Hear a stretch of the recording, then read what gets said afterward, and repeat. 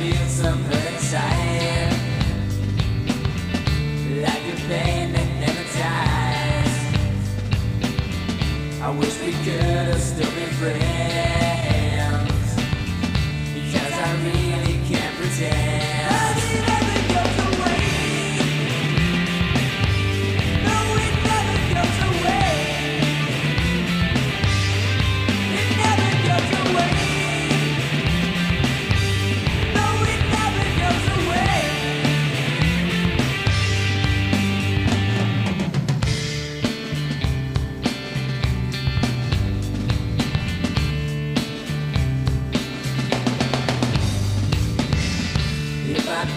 right there.